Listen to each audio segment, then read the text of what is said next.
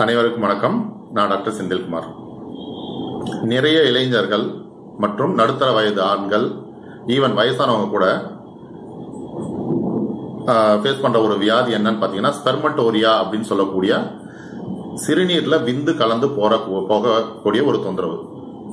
அதாவது மார்னிங் எழுந்திரிச்ச உடனே ஃபர்ஸ்ட் டைம் யூரின் போகும்பொழுதோ அல்லது மோஷன் போகும்பொழுதோ அவங்க யூரின் கழிக்கும் பொழுது என்ன ஆகுன்னு பார்த்தீங்கன்னா அதுல வந்து விந்து திரவம் கலந்து வரும். மார்னிங் மட்டும் இல்லை எந்த டைமில் வேணாலும் அது போகலாம் அடுத்தது அவங்களையும் அறியாமல் விந்து திரவம் மட்டும் எந்த ஒரு சென்சேஷன் ஆர்கஸ்மிக் சென்சேஷன் இல்லாமல் விந்து திரவம் ஆண்குறி வழியாக வரலாம். இந்த கண்டிஷன் பேர் வந்து ஸ்பெர்மட்டோரியா அப்படின்னு சொல்லுவாங்க. அதாவது விந்து கழிதல் அப்படின்னு பேர். இது வந்து எப்படி வருது அப்படின்னு பார்த்தீங்கன்னா எஜாக்குலேட்டரி டக்ட் ப்ராப்ளம் அதனால வந்து வருது. நரம்பு தளர்ச்சி அப்படின்னு காமனாக சொல்லுவாங்க. ஒரு உதாரணத்துக்கு நாம் சாப்பிடும் பொழுது பேச முடியாது. பேசும்பொழுது சாப்பிட முடியாது. எது நம்மளை தடுக்குது? தொண்டையில உள்ள ஒரு வால் மாதிரி. அதாவது சாப்பிடும்பொழுது நம்ம பேசினா குறையேறும் பேசும்பொழுது சாப்பிட்டா அது லங்ஸ்குள்ள போகக்கூடிய வாய்ப்புகள் வந்து அதிகம். அங்க ஒரு வால் வந்து கண்ட்ரோல் பண்ணுது இல்லையா? நம்ம த்ரோட்ல அதே மாதிரி ஆண்குறி விரைப்படையும் பொழுது சிறுநீர் வரது தடுக்கப்படுது. சிறுநீர் வரும்பொழுது விந்து வரது தடுக்கப்படுது. இந்த வேலையை பார்க்கறது வந்து எஜாகுலேட்டரி டக்ட் அப்படின்னு சொல்லக்கூடிய ஒரு டக்ட் அந்த டக்ட் வந்து கொஞ்சம் லூஸ் ஆச்சு அப்படின்னா சிறுநீரில் விந்து கலந்து போகக்கூடிய வாய்ப்புகள் வந்து அதிகம். இந்த மாதிரி சிறுநீரில் வந்து விந்து கலந்து போகக்கூடிய வாய்ப்புகள் இருக்கு அப்படின்னா அவங்களுக்கான அறிகுறிகள் என்னன்னா அசதி சோர்வு டல்னஸ் யார்கிட்டையும் ஃபோக்கஸ்டாக பேச முடியாது. Eye to eye contact maintain பண்ண முடியாது. ஒரு மாதிரி டல்னஸ் இருந்துகிட்டே இருக்கும். கண்ணை பார்த்தீங்கன்னா சோர்வாகவே இருக்கும். ஞாபக மறதி இருக்கலாம். அடுத்தது வந்து எதுலையுமே வந்து ஒரு கவனம் செலுத்தி ஒரு செயலை செயல்பட முடியாமல் இருக்கலாம்.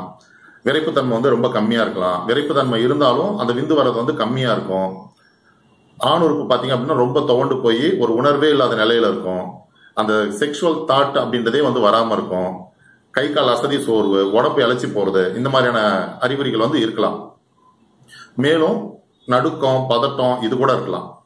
செக்ஸ்ல வந்து ஒரு டோட்டல் இன்ட்ரெஸ்டே போயிடும். இந்த மாதிரி இருக்கு அப்படின்னா அவங்களுக்கு வந்து இந்த சிறுநீர்ல விந்து கலந்து போகக்கூடிய பிரச்சனைகளும் இருக்கலாம். இதர சில நோய்களுக்கும் இதே அறிகுறிகள் இருக்கும். ஆனா உங்களுக்கு வந்து சிறுநீர்ல விந்து கலந்து போய் இந்த மாதிரி கை கால் நடுக்கம் பதட்டம் படபடப்பு ஞாபகம் மருதி சோர்வு உறுப்பு தோண்டு போன மாதிரி அதாவது உறுப்பு இருக்கிற மாதிரியே ஒரு சென்சேஷன் இருக்காது அவங்க மைண்ட் இதுல. ஆண் உறுப்பு இருக்கான்ற ஒரு தாட்டே வந்து அவங்க மைண்ட் வந்து ஆக்குபை பண்ணிருக்கு என்னடா ஒரு செக்ஸுவல் சென்சேஷனே இல்ல ஒரு அழகான பொண்ணை பார்த்தா கூட எதுவுமே இதாக மாட்டேங்குது அப்படின்ற மாதிரியான ஒரு சென்சேஷன் வந்து இருந்துட்டு இருக்கும்.